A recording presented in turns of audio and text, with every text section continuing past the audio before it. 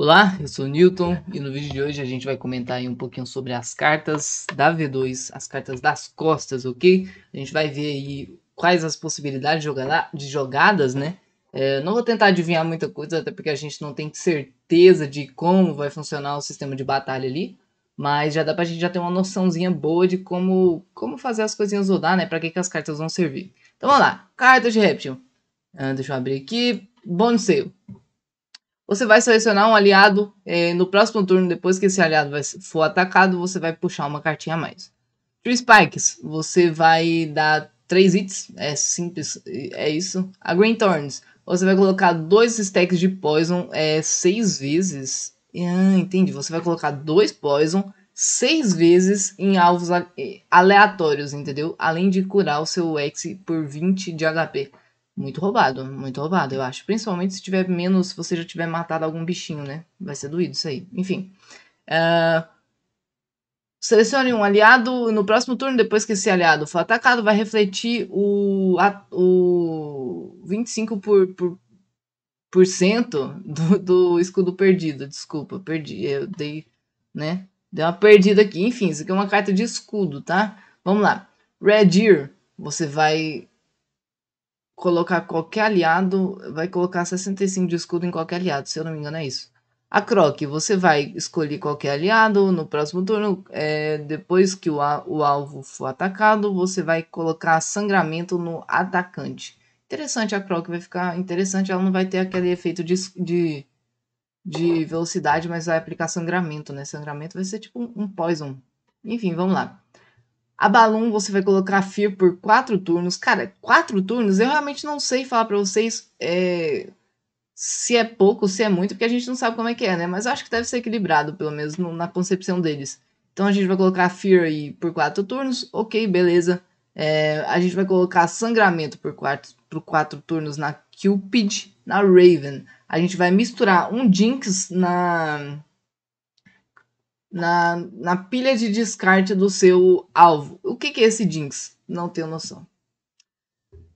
Eu não tenho noção. Eu sei que eu acho que depois você vai puxar uma carta e aí você, ao invés de puxar uma carta, você vai ter o efeito de Jinx, né? Que é de, de não critar, se eu não me engano, de não entrar na Last Stand, esqueci. Enfim, é, a Pigeon Post. Olha que interessante. A Pigeon Post agora vai ter combo com a Blackmail. Só que essa Blackmail ela vai pro seu oponente. Não sei o que, que a Blackmail vai fazer. Talvez a gente tenha, tenha ela aqui. Vamos lá. Beleza. Não, não sei o que, que a Blackmail vai fazer aqui, não. Pedir um post é a mesma coisa que a Blackmail? Eu não sei como é que vai funcionar. Enfim, Kingfisher. É, escolhe qualquer alvo, né, qualquer aliado. No próximo ataque, ataque contra o alvo vai ser refletido por 85 de dano. Isso aqui é secreto, ou seja, você não vai mostrar o cara que você selecionou. Interessante. Trifeder vai atacar todos os inimigos com 25 de dano. Ok, vamos pro próximo. Ronin, cara, a Ronin aqui, ela ficou muito, muito bonita a arte dela, né? E eu também achei muito interessante essa esse efeito dela, né? Que nem eu falei pra vocês, ela ainda tem um efeito de dar mais dano, certo? Só é um pouco diferente. Você não vai precisar necessariamente jogar três cartas do mesmo X, você vai precisar jogar outras cartas para aumentar esse dano dela. Enfim, é uma cartinha que vai dar muito, muito dano. Se você joga uma outra energia, uma outra carta, né? Antes de jogar Ronin, você dá aí é, 60 de dano. Se você joga duas cartas, você vai dar aí 80 de dano. E assim você entendeu como é que funciona. Enfim, vamos lá. Hero, você vai puxar uma, vai puxar uma carta. É a mesma coisa, só que não, não precisa ser contra peixe. Uh, Jaguar, você vai aplicar sangramento por 4 turnos. Olha só, eu quero ver como é que vai funcionar esse sangramento, hein? Deixa eu já tirar o WhatsApp daqui. Pronto, vocês não estão ouvindo. Uh, Risky Beast, você vai colocar o Weak no, no alvo, né? Você vai deixar ele fraco, vai diminuir o ataque dele. É, no seu no seu no seu X por dois turnos. Entendi, entendi. Você dá aí 90 de dano, porém você vai ficar... É tipo a Risky Feather, entendeu? É tipo a Risky Feather do, do pássaro. Uh, Timber, você vai escolher qualquer aliado. No próximo turno, depois que esse aliado vai ser atacado, você vai puxar uma Lumber Shield para sua mão. Eu não sei o que a Lumber Shield vai fazer, enfim, mas vai ser uma carta que, que deve ter algum efeito defensivo, não sei. Forball dá 2 hits, amém, não é 3 mais, né? Amém, amém. Snail Shell, é, selecione qualquer alvo. No próximo turno, depois que esse alvo vai ser atacado, você mistura uma Gu no, na, na pilha de descarte do seu oponente. Não sei o que Kagu vai fazer, não sabemos, e é isso. Swarm, caramba, 120, ah, só que ela gasta 12 energias, interessante.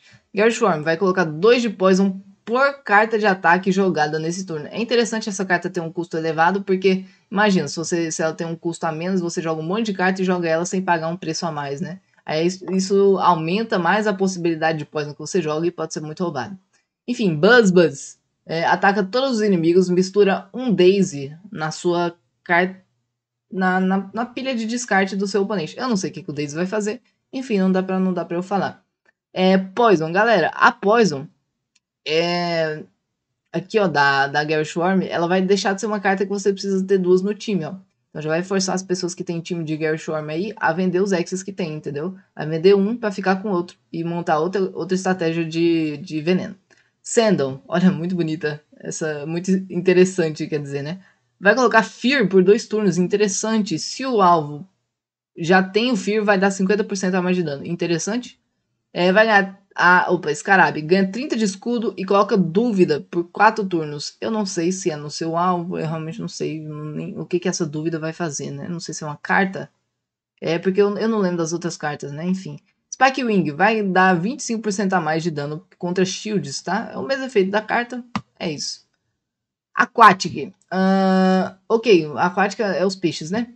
Uh, qualquer alvo, você escolhe qualquer alvo e nega o próximo ataque nesse alvo. Interessante, interessante. E olha só, isso aqui é secreto, viu, galera? Então, tudo que tem de secreto aqui, você seleciona o alvo, mas você não mostra qual alvo tá sendo, né? Então, cê, o cara sempre vai ficar numa certa dúvida. Será que ele vai atacar ele ou vai atacar o outro? Não sei. Enfim, Blue Moon vai puxar uma carta. Goldfish, se você for o primeiro X, né, Initial, eh, você vai puxar uma carta. É, Sponge, você escolhe qualquer alvo aliado, né? Aí, ó, secreto de novo. No próximo turno você vai colocar 5 de dano a mais, né? De 5 de damage boost para Ok, para o alvo que tem escudo, se o escudo for quebrado. Não entendi muito bem, temos que ver na prática. Anêmona. Sempre que isso aqui for... Ah, entendi. A Anêmona agora, sempre que for puxada, vai curar 20 de HP. Não gostei muito disso não, viu? Vamos ver como é que vai funcionar em game. Eu acho que vai ser roubado. Acho que vai ser roubado. Você só precisa puxar a carta e você vai se curar, entendeu? Interessante. Interessante. É, galera, o X vai mudar completamente a jogabilidade, viu? Vai mudar completamente mesmo. É, Perch, a Perk, né? Vai, vai dar 4 hits e prioriza o alvo com menor HP. Interessante, ó. Interessante. Vamos lá, é, planta, Turnip. Depois que você sumona, depois que seu oponente sumona uma unidade, você vai causar 25 de dano ao oponente. Eu não sei como é que vai funcionar esse summonar unidade, né? A Shiitake, você summona um cogumelo, não sei o que o cogumelo faz. Bidens, você escolhe qualquer alvo e remove os debuffs desse aliado, interessante. Watering Can, você vai escolher qualquer aliado no próximo turno. Quando um esse, pera, você escolhe qualquer aliado. No próximo turno, depois que um aliado for atacado, você vai puxar uma Pure Water para sua mão. Eu não sei o que, que a Pure Water faz, meu família. Enfim, é isso. Mint. Você vai escolher. Você vai dar escudo pro seu, seu time e vai colocar um buff de, de limpeza, né? Então, provavelmente você vai negar um debuff que o cara jogar em você, se eu não me engano. Pumpkin. É, escolhe um alvo aliado, né? No próximo turno, depois que o alvo for atacado, você puxa uma carta. Interessante. Gente, pelo que eu tô vendo aqui, dessa V3, no caso, né? A gente vai ter uma build muito mais pensada em. muito mais parecida com Hearthstone, por exemplo. Com Yu-Gi-Oh!, esse tipo de jogo, tá? A gente tem aqui, por exemplo, a gente tem opção de sabotar o deck do seu oponente. A gente tem a opção de selecionar um, um, um alvo, é tipo colocar uma trap card no, no Yu-Gi-Oh!, entendeu? é, essas, essa Warring Khan aqui, por exemplo, é a mesma coisa, mesma coisa que você colocar uma, uma armadilha virada para baixo, entendeu? E esperar o próximo turno do oponente. Se ele cair no, no se ele atacar e cair na armadilha, já era, entendeu? É, eu acho que vai ficar muito mais parecido com o jogo de cartas em si, tá? Mas a gente tem que ver como é que vai ser. É, aparentemente, a, a questão sinérgica das coisas está bem mais pensada, né? Em montar um time inteiro com uma sinergia isso é interessante. É, sempre abre janela para counter e tudo mais. Abre janela para ao invés de counter. Qual é o contrário de counter? Não sei. Mas enfim, é, abre janela para você ganhar de times, perder para outros e tudo mais. E aquilo, eu espero que o jogo não seja estressante igual é atualmente, tá? Tanto é que vocês podem ver que eu, ontem mesmo eu parei de jogar com 35, 33 energias, 34, não lembro.